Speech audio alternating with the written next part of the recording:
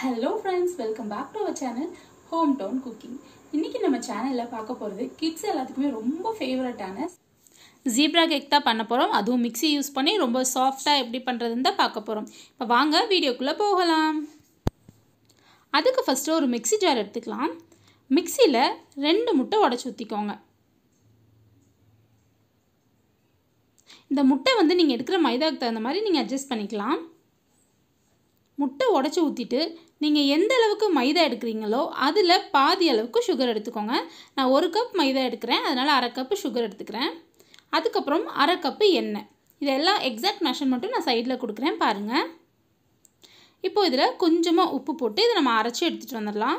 எண்ணெய் வந்து ஸ்மெல் இல்லாத எண்ணெய் எடுத்துக்கோங்க. பாருங்கள் இந்த அளவுக்கு அரைச்சி எடுத்துகிட்டு வந்தால் போதும். இதை வந்து லோ ஸ்பீடில் ஒரு ரெண்டு நிமிஷம் அடித்து எடுத்துக்கோங்க. இப்போ இதை வந்து ஒரு மிக்சிங் பவுலில் நம்ம மாற்றிக்கலாம் இப்போ இதில் நம்ம மாவு சேர்த்திக்கலாம். அதுக்கு நான் வந்து ஒரு கப்பு போல் மைதா மாவு எடுத்திருக்கேன். அதோட ஒரு டீஸ்பூன் பேக்கிங் பவுடர் அரை டீஸ்பூன் பேக்கிங் சோடா. இதை போட்டு இதை நம்ம சலிச்சு எடுத்துக்கலாம். ஏன்னா அப்போ தான் நம்ம பேட்டர் நல்லா ஸ்மூத்தாக கிடைக்கும். இப்போ நல்லா சலிச்சாச்சு. இப்போது இதை வந்து ஒரு ஸ்பேச்சுலா வச்சு நம்ம லைட்டாக சுற்றி விட்டு மிக்ஸ் பண்ணிக்கலாம். ரொம்ப அழுத்தம் கொடுத்து நம்ம மிக்ஸ் பண்ணக்கூடாது. இதோ இந்த மாதிரி. இப்போ இது வந்து நம்ம இந்த அளவுக்கு மிக்ஸ் பண்ணிட்டோம். இந்த ஒரு லம்ஸும் இல்லை. இப்போது கொஞ்சம் கொஞ்சமாக பால் சேர்த்து இதை நம்ம வந்து ஒரு நல்ல ஒரு கேக் பேட்டர் கன்சிஸ்டன்சிக்கு கொண்டு வந்துடலாம். அதையும் ரொம்ப ஹார்டாக நம்ம மிக்ஸ் பண்ணாமல் இந்த மாதிரி லைட்டாகவே மிக்ஸ் பண்ணிக்கோங்க.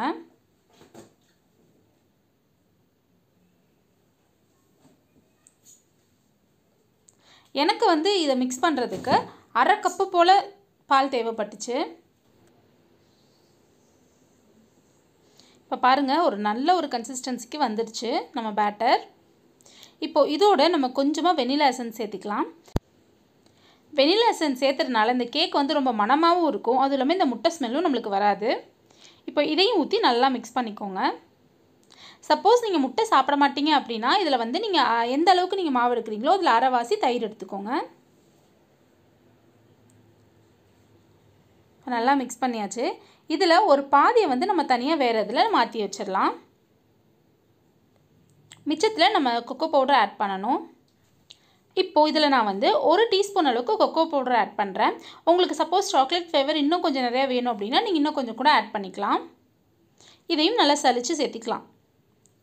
சேர்த்திட்டு இதையும் நல்லா லைட்டாக ஸ்பேச்சுலாக வச்சு மிக்ஸ் பண்ணிக்கோங்க.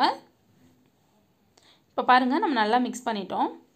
இப்போ வந்து நம்ம ஜீப்ரா கேக்கை எப்படி பண்ணுறதுன்னு பார்க்கலாம். அதுக்கு ஃபஸ்ட்டு நீங்கள் எதில் வந்து நீங்கள் கேக் செய்ய போகிறீங்களோ அந்த பாத்திரத்தை லைட்டாக ஆயில் வச்சு க்ரீஸ் பண்ணிக்கோங்க. இன்றைக்கி நம்ம எந்த ஒரு பட்டர் பேப்பர் கூட இல்லாமல் தான் பண்ண போகிறோம் நம்மளுக்கு ஒட்டவே ஒட்டாது பாத்திரத்தில். அதுக்காக நான் கொஞ்சமாக மைதா மாவு எடுத்து இந்த பாத்திரத்தை டஸ்ட் பண்ணிக்கிறேன். இந்த மைதா மாவு வந்து எல்லா இடத்துலையும் படுற மாதிரி டஸ்ட் பண்ணிக்கோங்க. அப்போ தான் நம்மளோட கேக் வந்து இந்த பாத்திரத்தில் ஒட்டவே ஒட்டாது. ஃபஸ்ட்டு நம்ம சாக்லேட் பவுடர் மிஸ் மிக்ஸ் பண்ணாமல் வச்சுருக்கோம் இல்லையா? அந்த கேக் பேட்டர் அதை ஆட் பண்ணிக்கோங்க. அதுக்கு மேலே அதோட நடுவில் கொஞ்சமாக அந்த சாக்லேட் பவுடர் மிக்ஸ் பண்ணி வச்சுருக்கோம் இல்லையா? அது அதுக்கப்புறம் மிக்ஸ் பண்ணாதது. அந்த மாதிரி நீங்கள் வந்து அடுத்தடுத்து அடுத்தடுத்து நீங்கள் ஆட் பண்ணிக்கோங்க. பாருங்கள் இந்த மாதிரி. இப்போ ஆட் பண்ணியாச்சு. இப்போ இதில் ஒரு டூத் பிக் வச்சு இந்த மாதிரி லைன் போட்டுக்கோங்க. அப்போ நம்மளுக்கு வந்து ஃப்ளவர் டிசைன் மாதிரி அழகாக இருக்கும். பார்க்குறதுக்கு குழந்தைங்களுக்கு அதை காமிச்சோன்னா ரொம்ப இஷ்டம் ரொம்ப பிடிக்கும். இப்போ இந்த கேக் பேட்டர் பண்ணும்போதே நீங்கள் சைமன்டேனியஸ்லி குக்கர் வந்து ப்ரீ ஹீட் பண்ணிக்கோங்க. மணல் இல்லாட்டி உப்பு போட்டு. இப்போ நம்ம பேட்டர் சூப்பராக ரெடி ஆயிடுச்சு. இப்போது இதை லைட்டாக இந்த மாதிரி தட்டிக்கோங்க. நம்ம கேக் பேட்டர் பேக்கிங்க்கு ரெடி ஆயிடுச்சு. இப்போ வந்து நம்ம குக்கரை வந்து ப்ரீ ஹீட் பண்ணி வச்சுருக்கோம். ஒரு பதினஞ்சு நிமிஷம் ப்ரீ ஹீட் பண்ணிக்கோங்க மீடியமான ஹீட்டில் அதில் ஒரு ஸ்டாண்டை வச்சு நம்ம ரெடி பண்ணி வச்சுருக்கோம் இல்லையா? அந்த கேக் பேட்டர் அதை உள்ளே வச்சு க்ளோஸ் பண்ணிடுங்க. க்ளோஸ் பண்ணிவிட்டு எனக்கு வந்து இருபது நிமிஷத்தில் இந்த கேக் வந்து சூப்பராக பேக்காகி வந்துருச்சு. இதை வந்து இடையில நீங்கள் ஓப்பன் பண்ணக்கூடாது. ஓப்பன் பண்ணிங்கன்னா கேக் வந்து புஃப்னு வராது. இப்போ பாருங்கள் கரெக்டாக ஒரு டுவெண்ட்டி மினிட்ஸ் கழிச்சு நான் ஓப்பன் பண்ணியிருக்கேன். ரொம்ப அழகாக வந்திருக்கு. இப்போ இதை வந்து இந்த மாதிரி ஒரு டூத் பிக் இல்லாட்டி ஸ்குவல்ஸ் வச்சு நீங்கள் செக் பண்ணி பார்த்துக்கோங்க. அது கிளியராக இருந்துச்சுன்னா நல்லா பேக் ஆயிடுச்சுன்னு அர்த்தம். இப்போ பாருங்கள் இது வெளியே எடுத்து வச்சாச்சு. இப்போ சூடாக இருக்குது இது ஆறட்டும். நல்ல சாஃப்ட்டு பாருங்கள் இப்போ நல்லா ஆறிடுச்சு. எவ்வளோ சாஃப்டாக இருக்குன்னு. இப்போ இந்த சைடை வந்து நான் வந்து பிரித்து விடலாம் அப்படின்னு சொல்லிட்டு நான் நைஃப் வச்சு செஸ் டெஸ்ட் பண்ணேன்.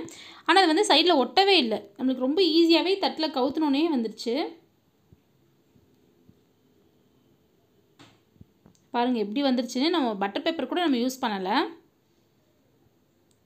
இப்போ கட் பண்ணி காட்டுறேன். எவ்வளோ சாஃப்டாக இருக்குன்னு பாருங்கள் உங்களுக்கு இது வந்து ஜீப்ரா கேக் மாதிரி வேண்டாம். நார்மலாக பண்ணணும் அப்படின்னா நீங்கள் அந்த பேட்டரை அப்படியே ஊற்றி நீங்கள் இதில் பேக் பண்ணிக்கோங்க. இதே மெத்தடில் அதுவுமே ரொம்ப டேஸ்ட்டாக இருக்கும். இல்லை உங்களுக்கு சாக்லேட் கேக் வேணும்னா கொக்கோ பவுடர் ஃபுல்லாக எல்லா பேட்டர்லையுமே ஆட் பண்ணிவிட்டு அதுக்கப்புறம் பேக் பண்ணிங்கன்னா நம்ம சுவையான சாக்லேட் கேக்கும் ரெடி இந்த ரெசிபியை கண்டிப்பாக எல்லாருமே வீட்டில் ட்ரை பண்ணி பாருங்கள் ட்ரை பண்ணி பார்த்துட்டு எப்படி இருந்துச்சு அப்படிங்கிற கமெண்ட்ஸை கீழே கமெண்ட் செக்ஷனில் சொல்லுங்கள் உங்களுக்கு வேறு ஏதாவது ரெசிபிஸ் போடணுனாலும் கீழே கமெண்ட் செக்ஷனில் சொல்லுங்கள் நீங்கள் இப்போ தான் first time home town cooking channel பார்க்குறீங்கன்னா ஹோம் டவுன் குக்கிங் சேனலில் பழைய வீடியோஸ்லாம் பாருங்கள் பிடிச்சிருந்தா லைக் பண்ணுங்கள் ஷேர் பண்ணுங்கள் மறக்காமல் ஹோம் டவுன் குக்கிங் சேனலுக்கு சப்ஸ்கிரைப் பண்ணுங்கள் சமைங்க சாப்பிடுங்க என்ஜாய் பண்ணுங்கள் தேங்க்யூ ஃபார் வாட்சிங்